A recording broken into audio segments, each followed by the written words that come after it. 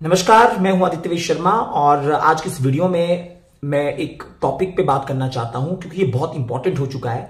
आपने देखा अभी हिमाचल में काफ़ी तेज बारिशें हुई, इतनी ज़्यादा तेज बारिश हुई कि जितनी भी नदियाँ थी हमारी आउट ऑफ़ कंट्रोल हो गई।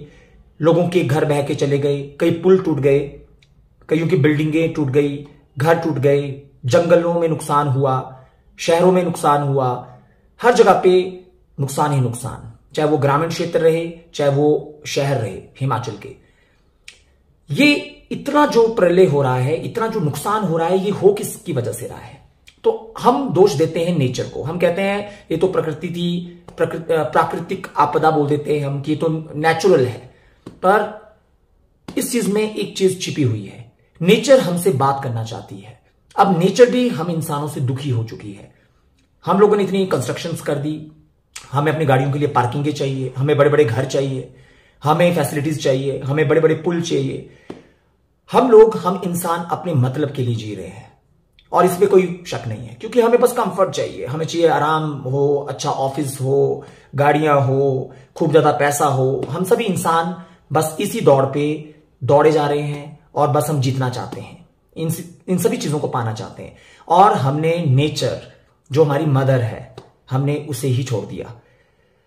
कई बड़े बड़े शहर बने, हिमाचल में भी कई जगह पे, कई कई कई गाँव जो हैं, कई ग्रामीण क्षेत्र जो हैं शहरों में बदल गए।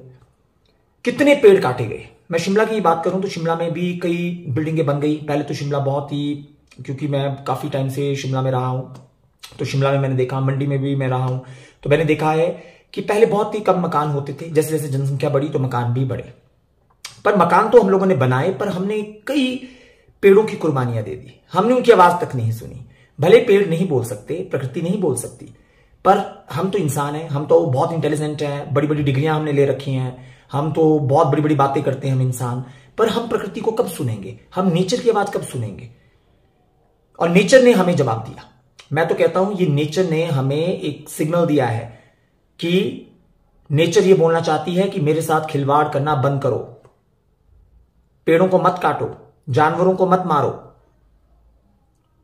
इंसान पर मान ही नहीं रहा, क्योंकि हमें फर्नीचर्स चाहिए। अगर हम देखें, हम अपने घरों में बड़े अच्छा फर्नीचर चाहते हैं और हम पेड़ों को काटते हैं। आपको बताओ जो फर्नीचर बनता है, कितने पेड़ों को काटा जाता है उसमें? और आपको पता है, एक पेड़ हमें कितनी ऑक्सीजन देता है? कम से कम कई लीटर ऑक्सीजन देता है। और हम उन पेड़ों को ही काट रहे हैं और इससे ग्लोबल वार्मिंग भी हो रही है। हमारी पूरी की पूरी जो पृथ्वी है, वो खतरे में आ चुकी है। हिमाचल का ये एग्ज़ाम्पल आप देखिए, कितना नुकसान हुआ है। अब ये, अब वो वक्त आ चुका है कि जब हमें अब नेचर के लिए काम करना चाहिए। हमें पेड़ उगाने चाहिए, हमें पौधे उगाने चाहिए, जितना भी हमारे पास टाइम होता है, क्योंकि आज के टाइम पे तो सारे ही बिज़ी होते हैं, पर क्या हम 24 घंटे में से कुछ घंटे प्रकृति को नहीं दे सकते नेचर को नहीं दे सकते? क्या हम एक पेड़ नहीं लगा सकते? क्या अगर जगह नहीं है तो क्या हम एक गमला नहीं लगा सकते? उसमें कोई प्लांट नहीं लगा सकते? अब वो वक्त आ चुका है कि नेचर से जितना कुछ हमें मिला है, नेचर को वापस हमें करना चाहिए। तब ये सारी की सारी जितनी भी आपदा आती है, प्रलय आती है, जितना भी ये लैंडस्लाइड्स हो रहे हैं, पेड़ टूट रहे हैं, ये सारी की सारी चीज़ें कंट्रोल में आ जाएँगी। हमें फोर लेन सड़कें चाहिए और हम पेड़ों को काटते हैं। और फॉर्मेलिटी में क्या करते हैं? छोटे छोटे पेड़ों को लगा देते हैं छोटे छोटे पौधे लगा देते हैं उनकी उनकी जगह पे। अब एक बड़े पेड़ की जगह एक छोटा पौधा तो नहीं ले पाएगा।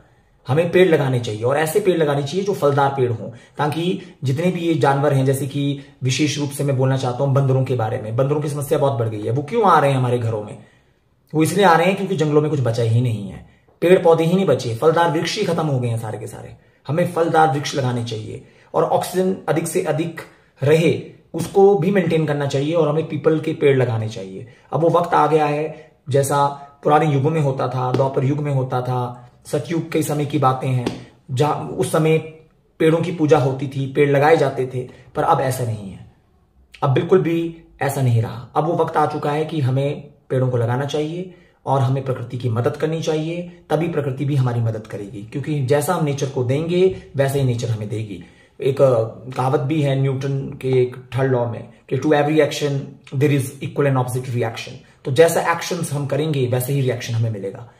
तो ये, बस मैं यही मैसेज देना चाहता हूँ और मैं आप सभी लोगों से एक तरीके की रिक्वेस्ट करना चाहता हूँ कि जितने भी एनजीओ हैं, जो पेड़ों के लिए काम करती हैं पेड़ उगाती हैं या प्रकृति नेचर से रिलेटेड जो भी वर्क करती हैं, उनकी मदद कीजिए या खुद की भी आप एनजीओ बनाइए या खुद की भी ऑर्गेनाइजेशन बनाइए या अगर बिना ऑर्गेनाइजेशन के आप काम करना चाहते हैं तो पेड़ लगाएँ और नेचर को बचाएँ। क्योंकि अगर हम सब मिलके पेड़ों को लगाएँगे, पौधे लगाएँगे तो नेचर दोबारा से वैसी हो जाएगी जैसे पहले थी। और फिर कोई भी दुख नहीं रहेगा, ना हम लोगों को दुख रहेगा, ना प्रकृति को भी दुख रहेगा। धन्यवाद।